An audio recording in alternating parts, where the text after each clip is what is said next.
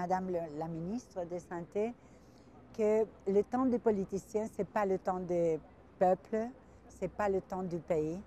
Alors il faut avancer vite, pas intempestivement, pas compulsivement, avec sagesse, mais pas perdre plus de temps.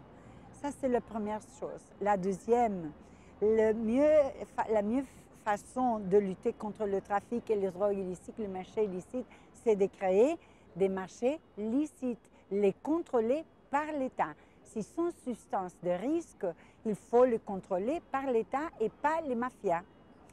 Finalement, d'être empathique avec la souffrance. Il y a beaucoup de personnes qui vivent avec la douleur, avec l'angoisse de la mort, avec l'évolution négative des maladies qui ont besoin de notre aide. C'est le temps de le faire maintenant. Il ne faut pas euh, continuer à cette torture parce que pour eux, c'est une torture. Ils savent déjà que la possibilité de se euh, soulager existe. On va à eux aussi les envoyer au marché illicite on va les accompagner avec une proposition sérieuse de la part du gouvernement.